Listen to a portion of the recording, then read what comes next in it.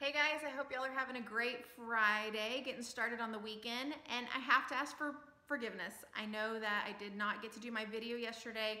Things got crazy with clients and closings and underwriters and the whole shebang and it just got nuts and I wasn't able to do my video. But I do have one for today. Today's is a challenge and it's gonna burn, but I think that if you do this, it could be huge for your career if you actually made it a habit. So um, it actually, it's for video and it is for your social media, for your Facebook particularly, for your, for your whole sphere. So you guys all have at your fingertips all kinds of data. And with MLS, within MLS, the specific spot I'm talking about is called NTREIS Trends.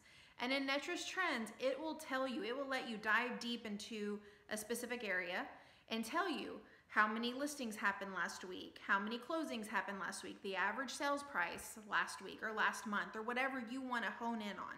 And I think you should use that information and share it in a video. So if you made this a habit that, first of all, if you are gonna farm an area, a city, a neighborhood, whatever it is, and you were to provide a market update to your whole sphere of influence of what's going on, and let's say that's the only thing you did for the rest of your career. Once a week, you were gonna give this market update. You would kill it. People would wanna pay attention. There is nothing like that out there right now. And if you were to do that for every week for an entire year, you would kill it.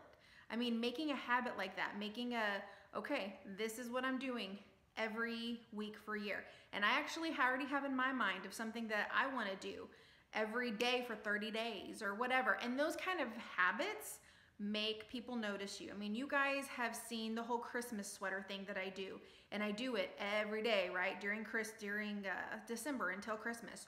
Or, um, and, and I can't tell you how many people still today talk to me about it. And I only do it once a month in the holidays, and I don't, you know, I don't do anything like that through the rest of the year. People still talk to me about it throughout the year. Are you gonna do it again this year? Did you get any new sweaters? It's hilarious. And so if you created some kind of habit like that, you will create the same sort of momentum, right? So in the one that I'm talking about today, that is my challenge to you, is to do a market update. To do a market update specifically for an area and say, hi, this is Alicia Green and I'm here to tell you about the market update for last week in two minutes or less. Last week in Forney, Texas, we had X number of closings happen in Forney. We, the average sales price in Forney was this. We had this number of listings go on the market. We had this number of whatever, whatever data that you can get that would cover one whole week, right? And to share it.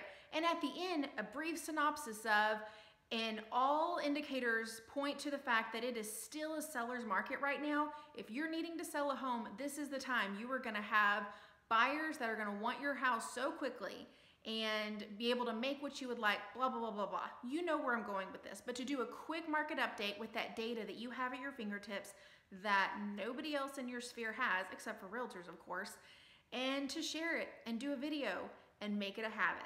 So if you do one, I think that is amazing. And if you decide that this is, I mean, you could start your New Year's, your New Year's resolutions in September. I think that would be amazing. If you start it, do make it a habit, start doing it, you will absolutely kill it. It could be so much business because that kind of data is not out there and at everybody's fingertips. All right, that's all I got.